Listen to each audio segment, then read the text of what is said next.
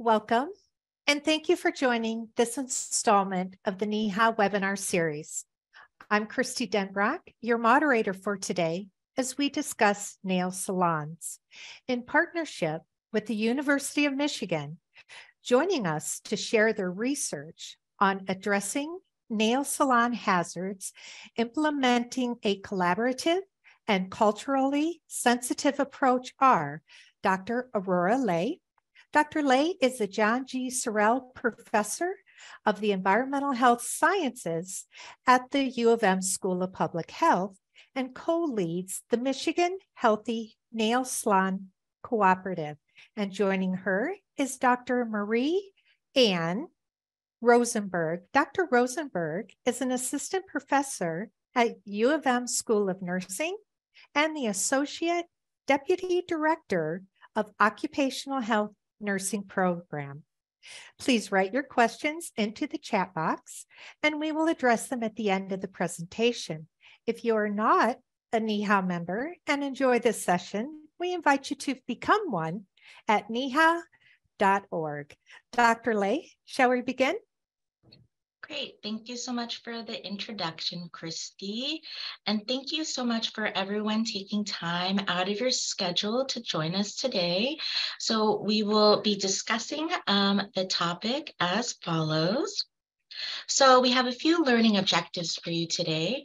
First is that participants will gain a background knowledge on the occupational and environmental hazards, as well as social challenges faced by nail salon workers. We'll describe some of the work that the Michigan Healthy Nail Salon Cooperative does, including our purpose and initiatives. And you'll be able to discuss best practices for collaborating with nail salon workers in a culturally sensitive and linguistically appropriate manner. So first, I would like to provide some background about nail salon workers and who they are. But first, I'd like to present the topic of health disparities in the workplace. So in public health, we think of these as the social determinants of health. These are the facets of your life that essentially affect your health outcomes, right? So these are generally things like your education and access quality, healthcare, where you live, who you interact with, and economic stability. Generally, people think about your work or your job where you spend a third of your life as only falling within this domain of economic stability, right? Because it's providing you a source of income. But realistically, it affects all the social determinants of health because thinking about like the kind of education and the quality you might have will affect the kind of job you have the kind of job you have affects the quality of healthcare you may or may not have. Except for remote work, it often dictates where you live and who you interact with. So, health disparities in the workplace or occupational health inequities, according to the National Institute for Occupational Safety and Health, are avoidable differences in work related incidents, mental illness, or morbidity and mortality that are closely linked to the social, economic, and or environmental disadvantages such as work arrangements, sociodemographic characteristics, and organizational factors. A couple of decades ago, when we thought about health in the workplace, we only thought about what's happening in the workplace. But now we understand, especially the COVID 19 pandemic has underscored your life outside of work affects your work and vice versa. So, with nail salon workers, just to give a very brief timeline of here in the United States, between the 20s and the 60s, manicures were considered very expensive and only like a very nice leisure service for extremely wealthy clientele, right? Um, and then there was a perception that these manicurists were seen as like gossip mongers and gold diggers. But it wasn't until the Vietnam War, actually, when, um, you know, a lot of refugees, like my parents, were being brought here to the United States. Um, and so many folks were looking for a profession. And the actress Tippi Hedren, who is the mother of Goldie Hawn and and the famous actress from Birds. She's known as the godmother of the nail salon industry because you know, with her through her activism, she saw these women coming over from Vietnam who needed to like find a way to sustain their living and support their families. So she actually sponsored a lot of refugees to go through cosmetology school. And through that way, it kind of became like other Vietnamese folks would teach other coming to the United States on how to work in nail salons and eventually start their own small business. So that's why no matter where you go in the world, whether you're in Prague or you're in the middle of Oklahoma, a lot of manicurists are Vietnamese. Um, so finally in the 80s, it was recognized as an official profession by the Bureau of Labor Statistics and the industry started booming towards the 90s and 2000s, you get people really into these services and they're starting to try to drive down costs because there's so much competition right? Um, so you know in previous years you would expect to get a manicure for like $10 $20 um, but nowadays that really vastly changes based on the trends. Um, but this is still considered you know a very intimate labor industry not because they are like physically touching your hands sometimes but some people also develop relationships with their manicurists like see them as friends. Um, but you know there's also this dehumanization aspect that happens with a lot of folks who work in the service industry as well, where they are there performing a service or you don't expect them to interact with you that much. And there's some challenges and vulnerabilities that they face. So, based on data from um, 2018, if we look at nail salon workers and their wages, um, about a third of workers here in the United States are considered low wage. But if we look at nail salon workers, it's actually about four in five of them.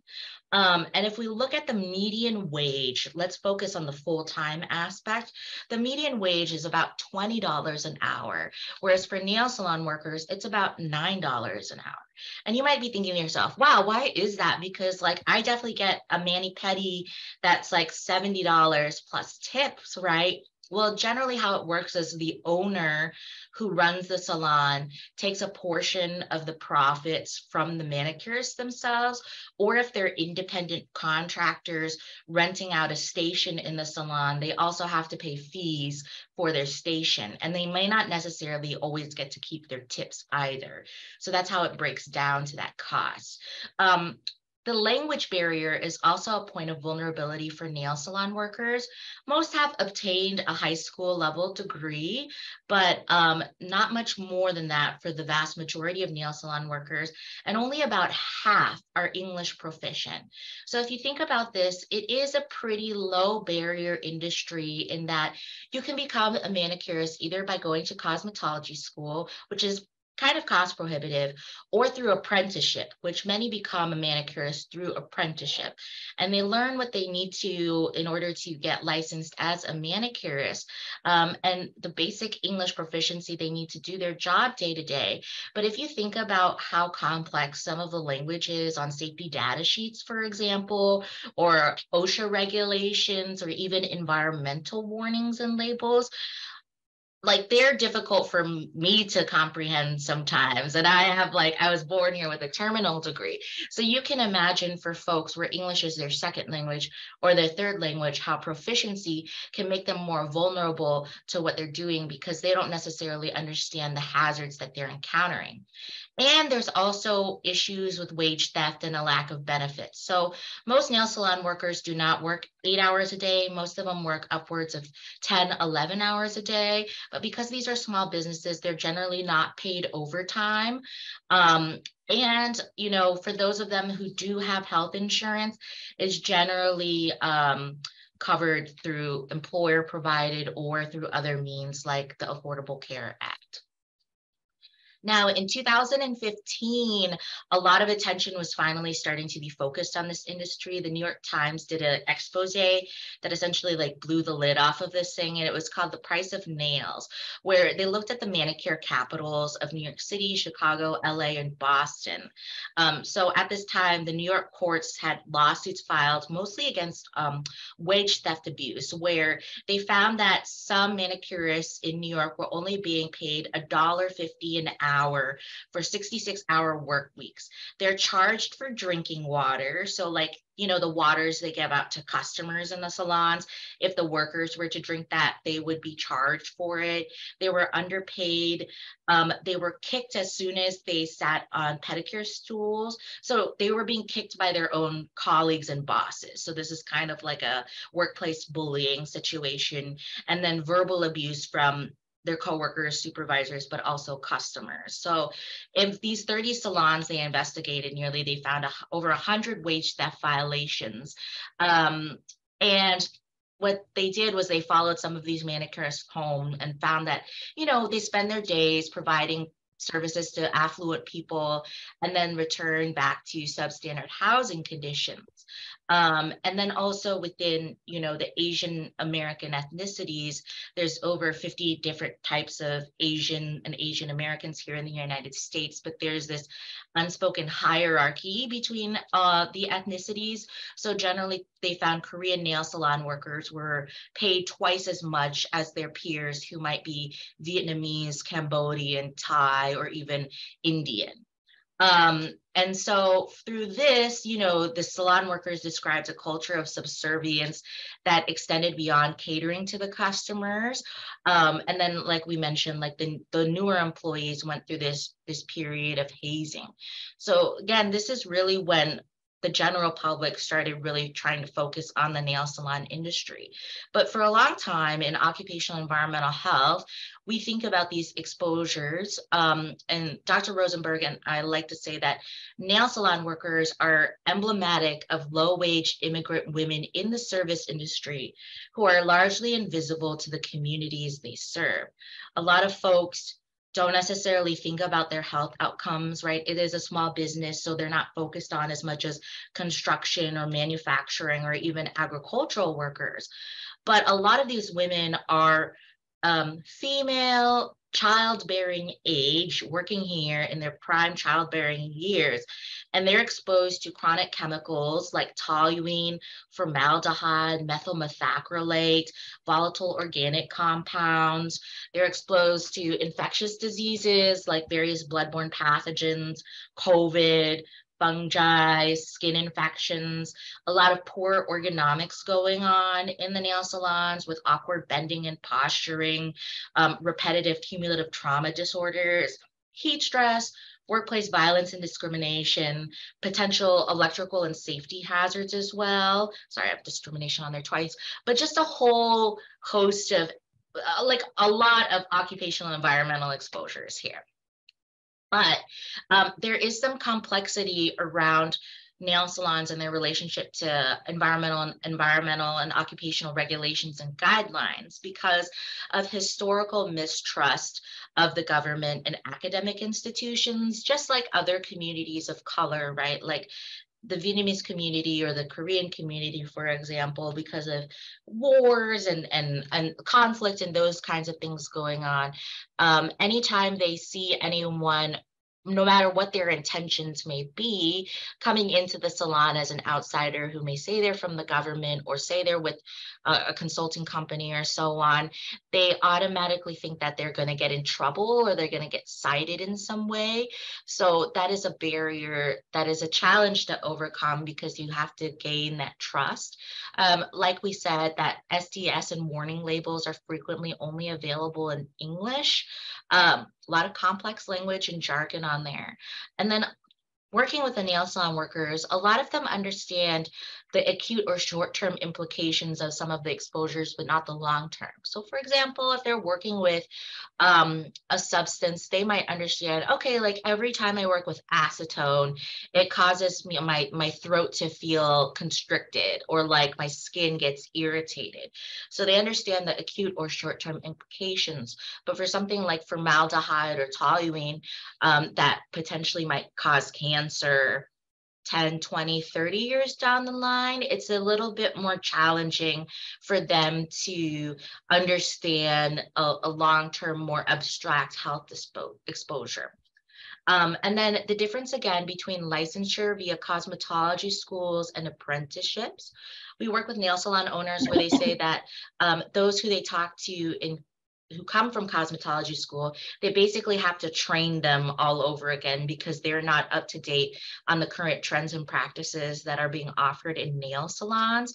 But with the apprenticeship, right, you're kind of, it's like a, a game of telephone essentially, where you're learning the technique from someone who learned from someone who might have learned from a YouTube video, which is pretty common.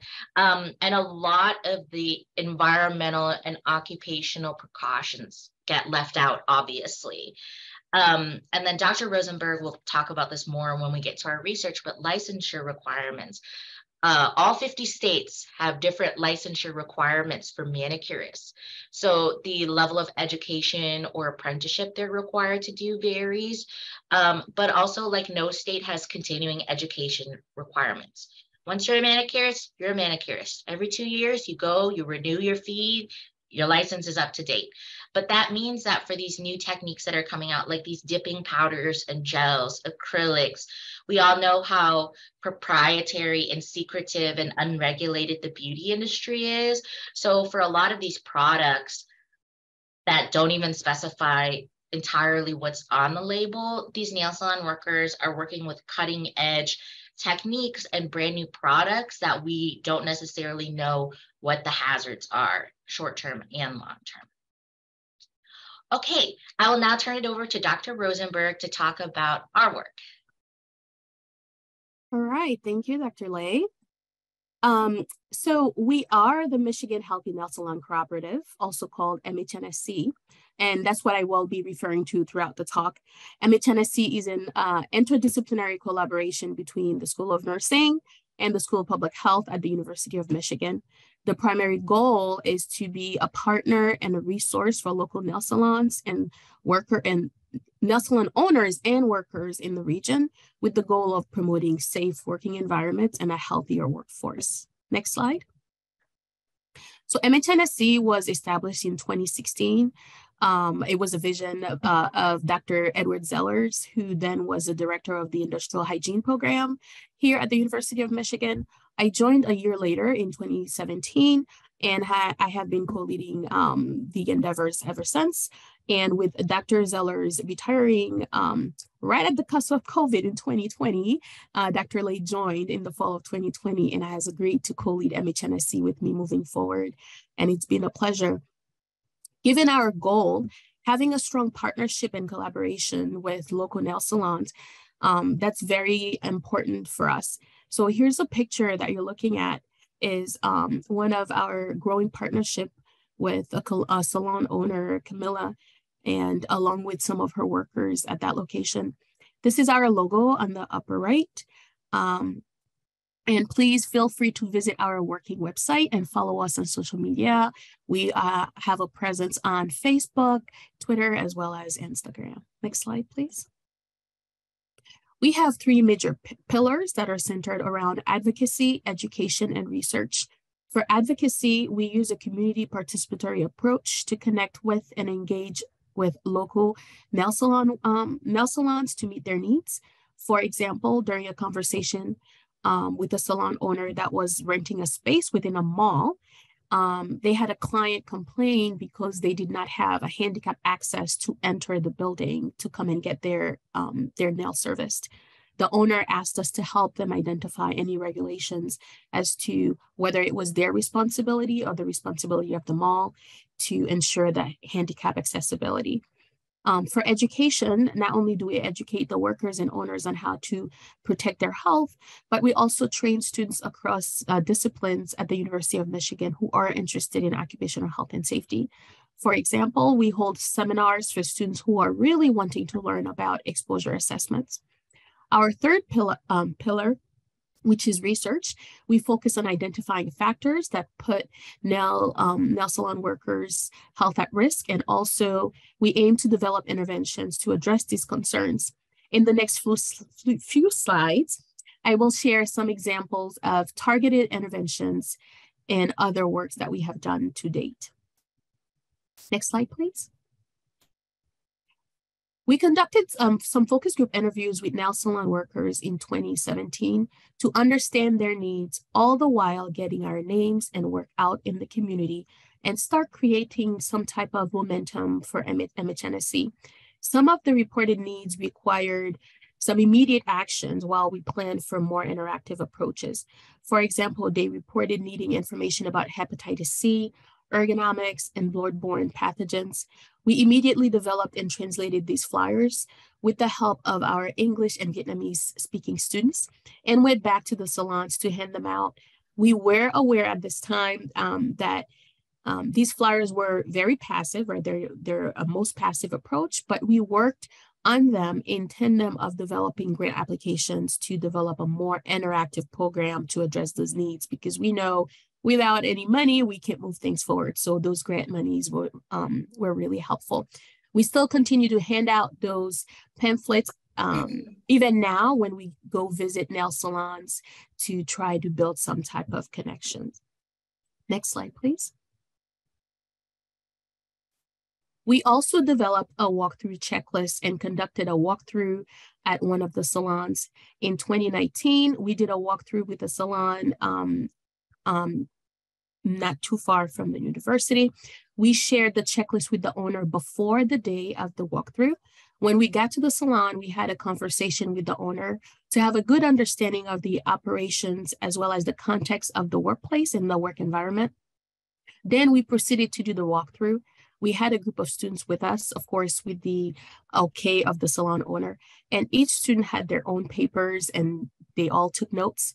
After we were done, we came back and collated our notes, discussed our findings, and then we developed a report. We then wrote a letter to share with the salon owner to share our findings from the checklist. And in the letter, in addition to highlighting what we saw um, was working well, we also included some recommendations for improvement. Next slide, please. As you um, can see from the previous slides, at any given time, we have many moving parts and multiple projects going through with MHNSC.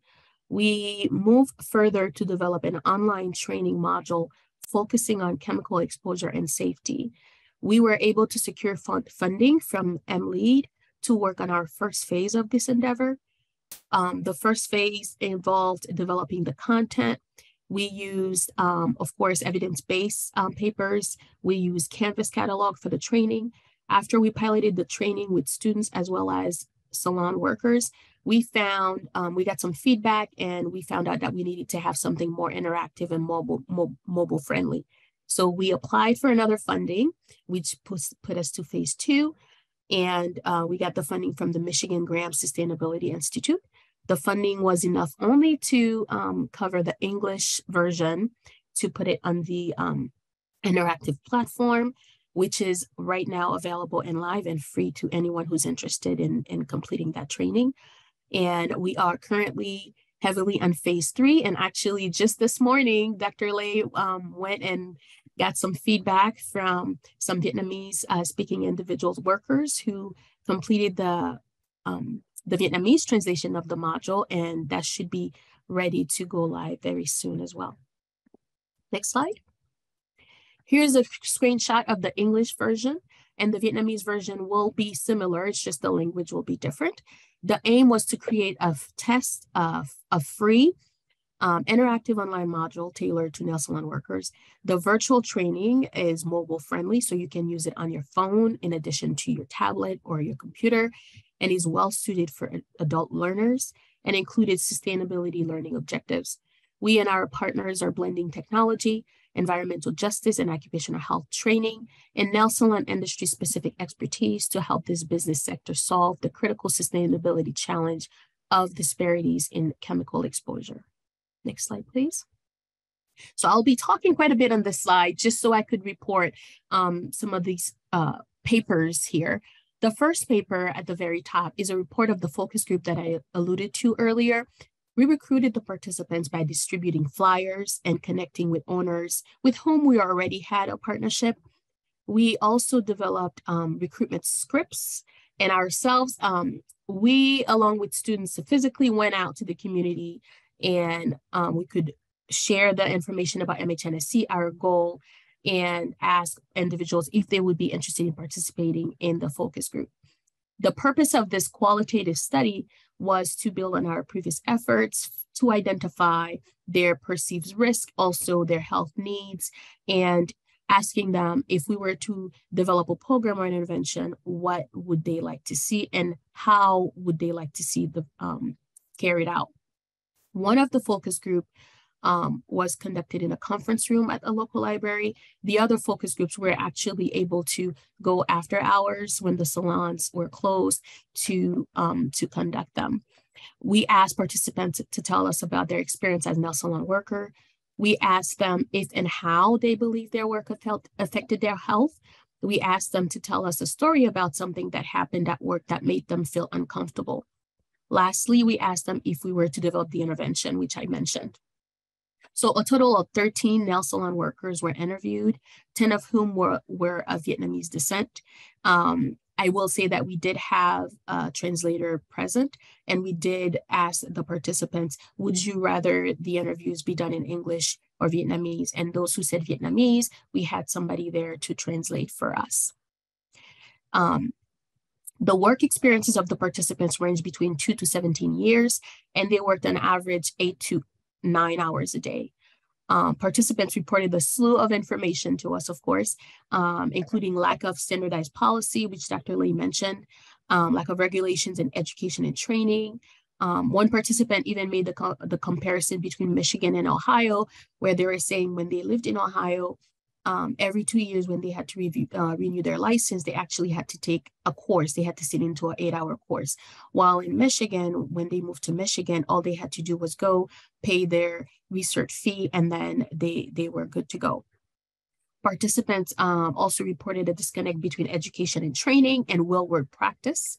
One participant specifically said that they they never were taught how to um, uh, even address when they cut somebody and the client started bleeding, they didn't know how to how to care for that. They reported inadequate knowledge on exposure risk and safety protocol. Um, they also reported concern about using unsafe nail products, issues dealing with uh, customer pressure, and also being discriminated against because they were immigrant and had some language barrier for, for some of them. For the second paper, we conducted a review of the literature to explore existing interventions that targeted nail salon workers, right? Because our goal is to not reinvent the wheel. If we found an intervention that seemed to work in another state, of course, we would adapt that and make it work for the uh, workers here in Michigan. We collaborated with the librarian informationist to be sure that we exhausted all the possible searches and did not miss any key papers. We found only four papers, actually. The interventions um, ranged from pamphlet distribution to full day training sessions and also included pre and post tests. The outcomes included increased knowledge, fewer violations, increased adherence to infection control practices, increased use of per, uh, personal protective equipment, and um, improved behavior and attitude toward health and safety practices. And lastly, for the last paper, um, through the Freedom of Information Act, we put a request to a request to the Michigan Department of Licensing and Regulatory Affairs. Our goal was to understand the current state of nail salons and licensure of workers in the state of Michigan. We received the data from um, January 2017 to March 2021. We analyzed over 13,000 cosmetology establishments to determine if the businesses were exclusively or predominantly providing nail um, services. And as of March 2021, there were uh, about 13,000 nail salons that exclusively provided nail services and about 12,000 licensed manicurists in the state of Michigan. And 685 businesses provided nail services as a secondary or additional service. Unfortunately, the Michigan law does not have public um, publicly accessible information on the demographic um, characteristics of the licensed manicurists, which we would have appreciated, right, such as gender, age, or race and ethnicity. Uh, the highest number of disciplinary actions took place in the year of 18, 2018 with about 107 um, salons.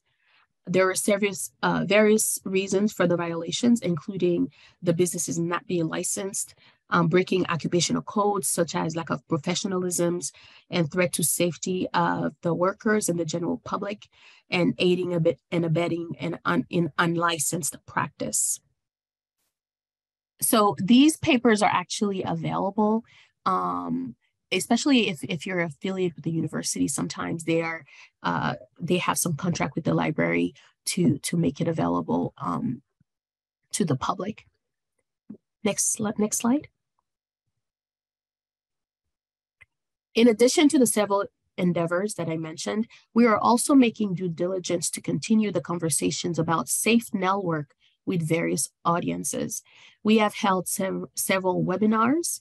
Um, two weeks ago, we held, well, not two weeks ago, a couple of weeks ago, we held a viewing of uh, the film Nailed It, followed by a panel which comprised of all Vietnamese descent individuals, including Dr. Le here. We also have Camilla in this beautiful picture here, who we considered our um, as our star owner partner. She was featured in the Michigan News for her collaboration with us, starting with the training module. And we are happy to say that she um, is finding this collaboration fruitful for her as well, given that now she has been invited to be featured in several news media and also to speak about her business, which of course creates visibility for her and her business. We have a MOU um, with her, and part of that um, understanding is for her to uh, con- connect us and branch out our network to her peers and fellow salon owners and other workers. Back to you, Dr. Le. Okay, so for this last portion here, we'll be talking about um, collaboration and empowerment in a culturally sensitive and linguistically appropriate uh, approach. Um, so thinking about this in particular, um, I really love this image here by Ricardo Levins Morales, um, which essentially shows um, you know communities of color and their positioning within social justice and environmental justice. So from the environmental justice standpoint if we think about communities that live near or have you know hazardous waste sites placed near their communities right? It disproportionately tends to be like communities of color and those who are low income. But if we think about these um, occupations as well that have really high proportions of environmental exposures and occupational exposures if you think about agricultural workers nail salon workers hotel workers um, hospitality workers, those who work in environmental services or janitorial custodial services, right? Exposed to a number of biological hazards, chemical hazards, all the things that I mentioned. Um, a lot of times you will find uh, workers of color in these positions. Um, and unfortunately sometimes that means that you know things the research is shifting for sure and conversations around equity and justice are are moving towards this direction. But historically that means that um, their health and safety has been overlooked right? Because and by overlooked i, I mean there's even a lack of surveillance data being collected on these worker populations to determine what their injury, illness, and fatality rates are. So that's why for us, you know, um, as somebody who comes from an industrial hygiene background and Dr. Rosemberg is very much, you know, a trained nurse, but we work in mixed methods because there's only so much that air sampling numbers can tell you. There's only so much that blood pressure numbers can tell you. And there's only so much that, like, even injury and illness records, if they maintain them at all, can tell you. Um, a lot of times it requires qualitative approaches, such as focus groups, interviews, really talking to the workers and understanding their experience to piece this whole story together. Um, and for this kind of work, obviously, we find it very rewarding. But you, where you got to be in it for the long game, right? This isn't something where you decide to conduct a study or or collect some data. Bing, bang, boom! It's you have it in a couple hours you're not doing like a grab sample right? Um, you don't have it by the next day. It takes time and investment but um, through these approaches where we are essentially empowering workers and giving them a voice to tell their story that also helps them build trust with us as collaborating organizations. So i'll hand it back to dr Rosemberg to talk more about these points Yes. So um, I, I don't know how else I could really emphasize the importance of collaboration. Um, uh, Dr. Le and I, we are at the university system, and I am keenly aware that I am I am an immigrant myself, but I am not of Vietnamese descent, so I don't speak Vietnamese. So um, really understanding the importance of having a team that is called um, that is culturally um, congruent with the demographic composition of the workers and really in tune with the issues related to trust in you know in academic and governmental institution that's important. Um, so i was super elated that dr Le joined the team because she's of vietnamese descent. So when we go to a salon um, you know people would be, you know, really a key to connecting with us, as well as having Vietnamese speaking students and continue to build the collaboration with and partnership with local salons. Um, and really in the nail salon worker community, positive word of mouth goes further than media or publication. So um, when we meet with a worker or a salon owner, we really try to build a bridge, keep that bridge, reinforce that bridge, and so we can branch out and, and continue building on that partnership. Back to you. Thank you. Um, uh, so what is, so just say for these folks here, like everybody on the call, obviously you're like in a NEHA webinar, right? So you have, you either work in environmental health or you have some relationship to it. But what about the average consumer? What can they do for nail salon workers? I'm sure you yourself either get nail services or you know somebody in your life who regularly gets nail services. So when we talk about nail salon workers, the point is not to scare you away from getting your nails done at all. That is absolutely not our purpose. In fact, that would be going in the opposite direction of our purpose, right? Because we want to keep these workers earning a living and that is their livelihood. Um, but ultimately, the goal is to empower them and to sustain their health so that they can keep doing this for the rest of you know their life or maybe up until retirement until they're 65 right? Um, so in california we collaborate with the california health and nail salon collaborative. Um, and they're a couple of decades ahead of most states in terms of uh, worker rights and you know cal osha cal epa regulations. Um, and talking to them it's interesting that to hear that um, you know there's still this perception from nail salon owners that customers want the cheapest services that they can get but now with these you know more environmental awareness, I would say, with like millennials and Gen Z being a huge part of the economy. Um, a California sur- um, California did a survey of consumers and found that most of them, like upwards of 75%, would actually be willing to pay more um, for their nail services if they were to use products that did not contain the toxic trio, right? Um, or um, were you know free they even have 11 free now which are con- like plant-based nail products um, and so the consumers actually drive this industry. And if you have a relationship or the person you know has a relationship with the manicurist or the owner, make the voice known like, hey, I'm willing to pay more products so that your workers can live like a longer, healthy life. Might be like two to three additional dollars per services tacked onto the service. I mean, it's very nice for you to tip your worker and you should continue to do that. Um, but the power of the dollar and the power of the consumer drives honestly a lot more change than the workers can, and even we can. So we're trying to take a top down and bottom up approach. Top down meaning policy changes, working with um, state OSHA and licensing boards, and then bottom up, you know, getting the workers the education they need. But the the power of the consumer has a lot further to go. So if you notice, um, you know, a parallel example, right?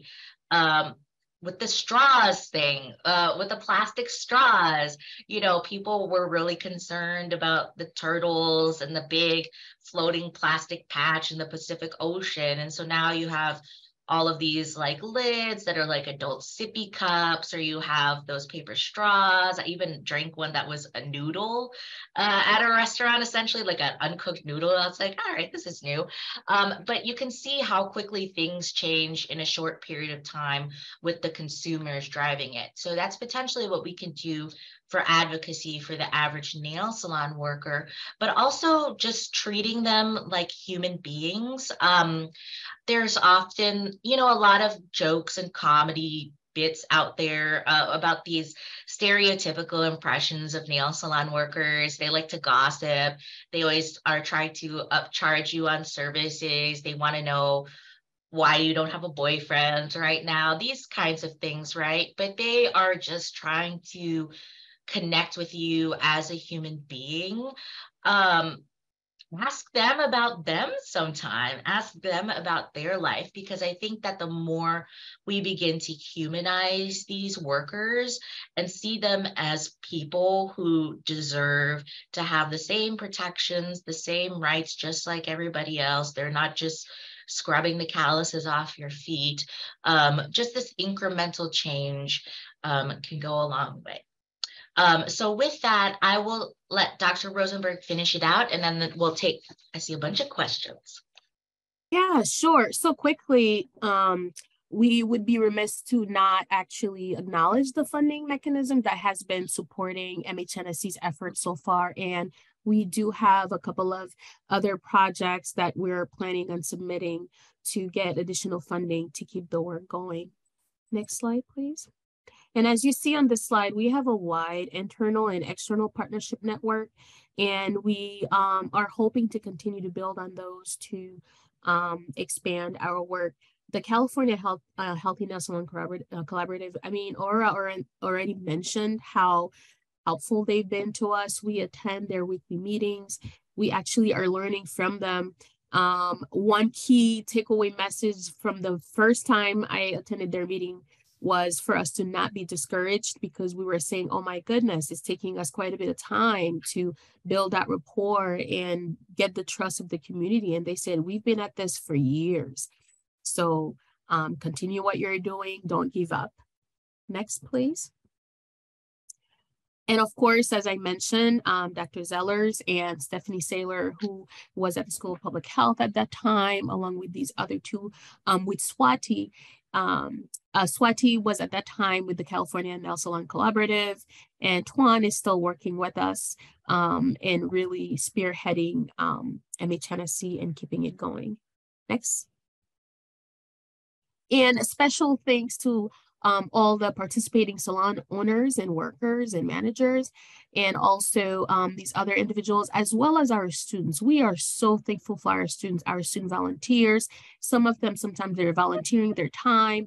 Others, if we have the funding, we're able to cover them, but some of them actually are doing this on their own free time with no pay, where they're actually on, you know, boots on the ground, connecting, trying to recruit.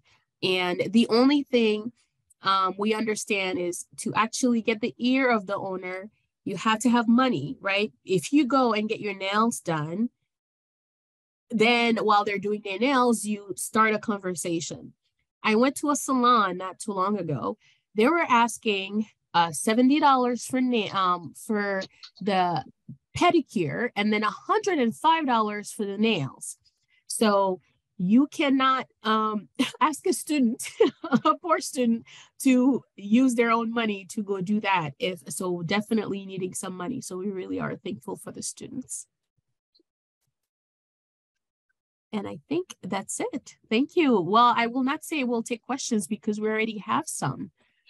Yeah, so I guess um, we can go one by one. We'll answer these live. Um, hmm. so I'll start, I guess I'll read the question and then, uh, or Kristie, or do you want to read the question?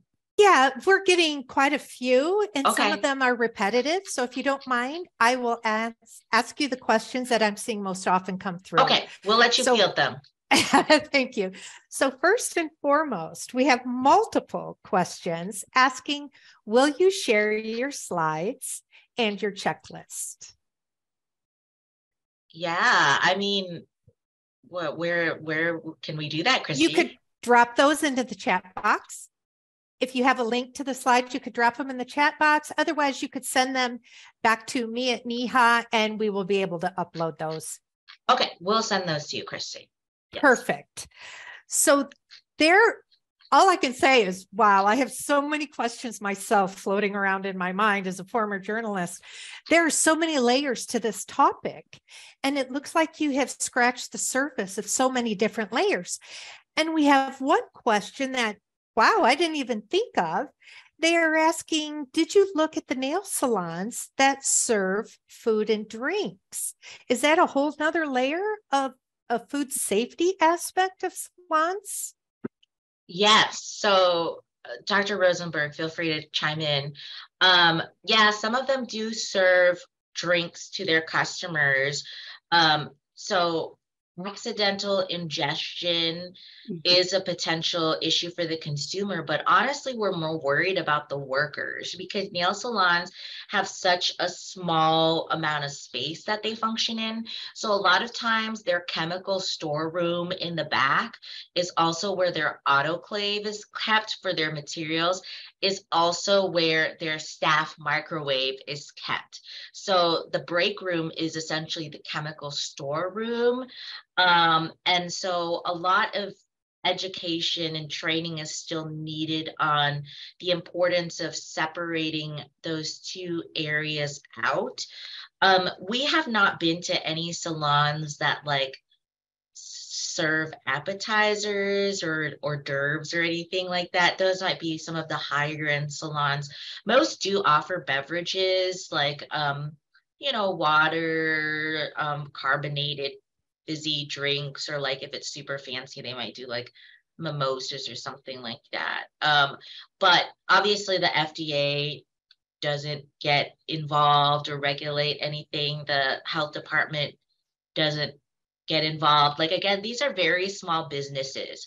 So unless somebody whistleblows, nothing's going to happen. And a lot of these workers may be in precarious work arrangements or undocumented um, and in a vulnerable position with their boss. So they're not they're not going to whistleblow. Uh, right, right, and and also most importantly, we'll see that some of the workers they'll have um, some refreshments at their workstation. Um, so we we do have that um, in the training, making sure that if you have some water or or anything to keep you hydrated while you're providing service, make sure that it's covered, right? Because while you're filing a nail or um, using the drill or anything like that, you don't want to um, ingest that um, that chemical by by going through your food or or your drink. And then also a lot of these salons, I, I you know, we're finding out that they're family owned. So there is a thing of, you know, Dr. Le mentioned somebody being scared of talking to their boss but what if you know it's it's your mom or or your uncle who owns the the the rest uh, not the restaurant the the salon and it, it's it's another conversation for you to have to say okay what are we going to do together as a family to make sure that we we are safe and you know we're healthy to continue the business going Another question that we received is back to the chemical exposure. And they've asked um, if you have run into situations where the salons have exceeded the OSHA PELs, or is it a matter more of a chronic low level exposure to these type of chemicals? Both. Can I yeah, go ahead, Or No, you go ahead, Dr. Rosemberg. Well, I, I was going to say that um, subjectively, we would say both, right? But that's our goal, right? The goal would be for us to go ahead and do the actual measurements ourselves. There was a study done by Dr. Batterman, who's also um, one of the partners at the University of Michigan School of um, School of Public Health, and they did some um, quick measurement um, uh, of uh, of chemical exposures, but unfortunately, um, it was the person who was getting their nails done who was wearing the device and not the worker. So of course they did identify um, some low level of exposures, but we we are sure that if it were the worker, we would find higher levels. So the answer is we think yes, but we do not have the hard evidence to to show to say yes for now as of yet.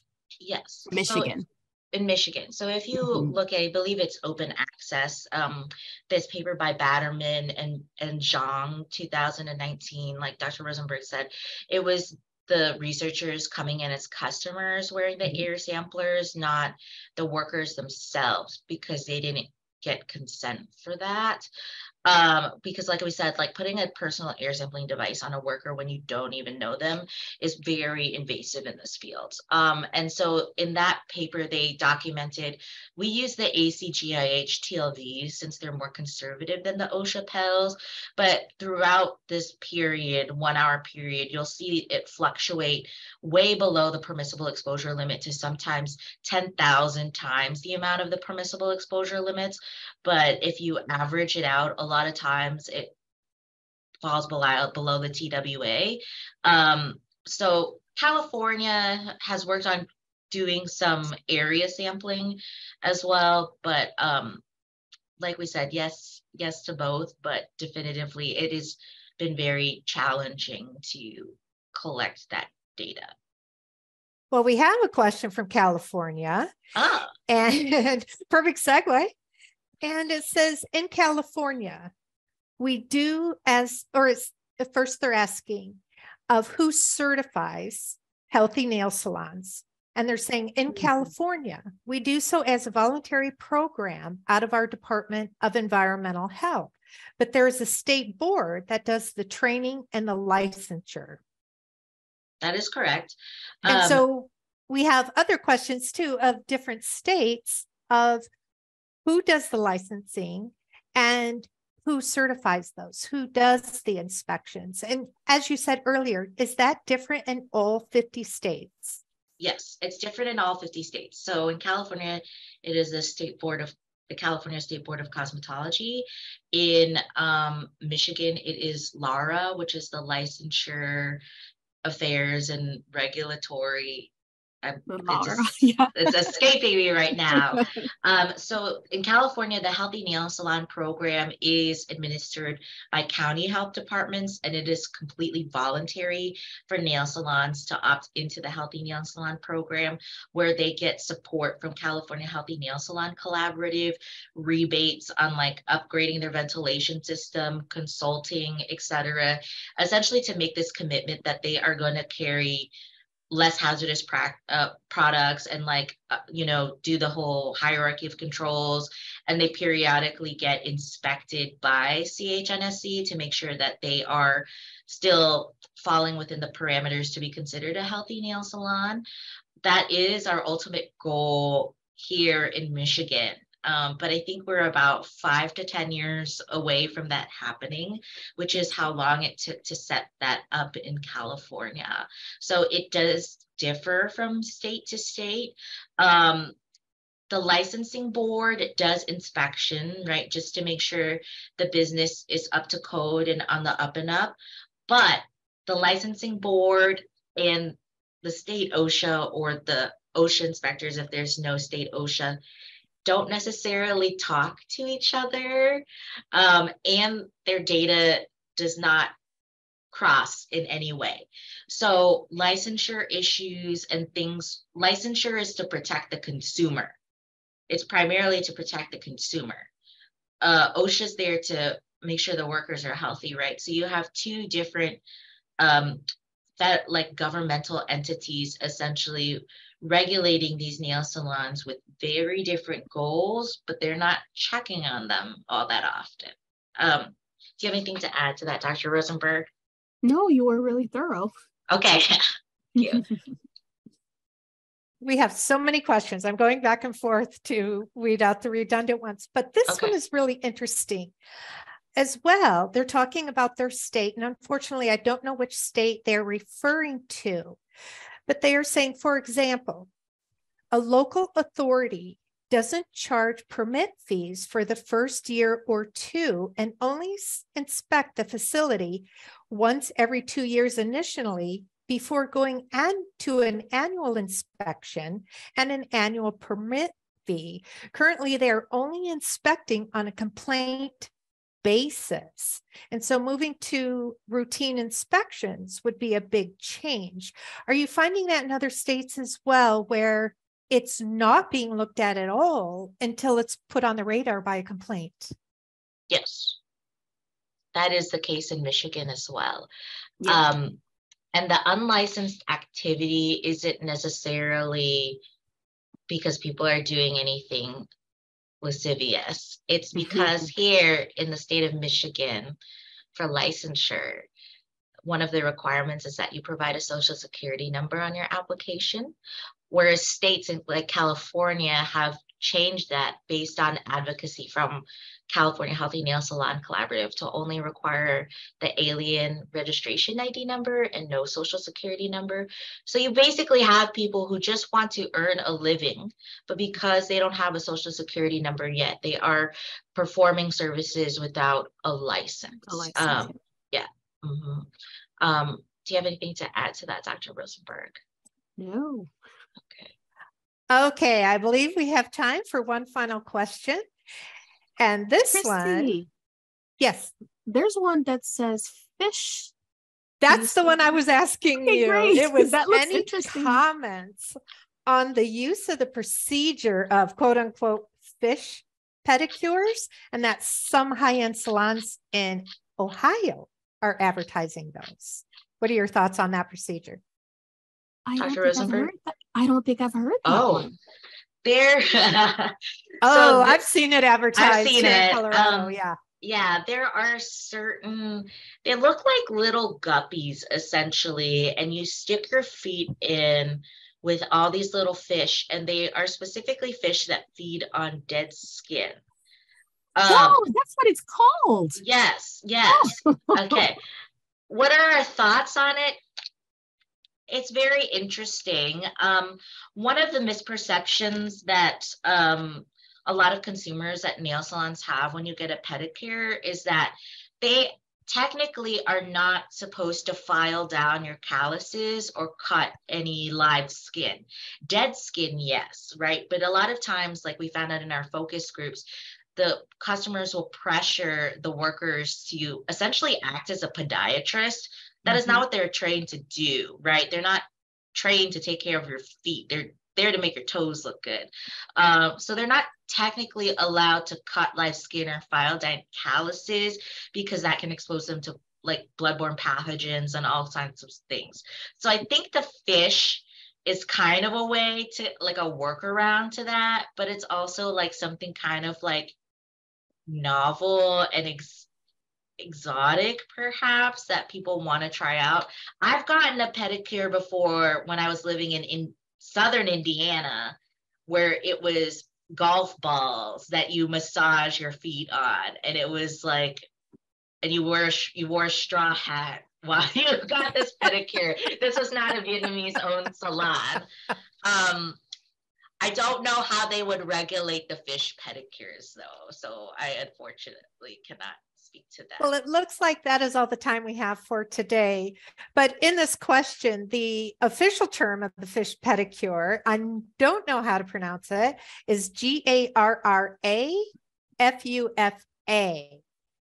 So that is the official name of the fish pedicure. And so we at NEHA would like to thank the University of Michigan and especially our guests, Dr. Le and Dr. Rosemberg, for their expertise and their gift of their time. Your feedback is important to us, and we encourage you to fill out the survey, which you will receive, to help us to continue our mission to build, sustain, and empower an effective environmental health workforce. And we thank you all for joining us today.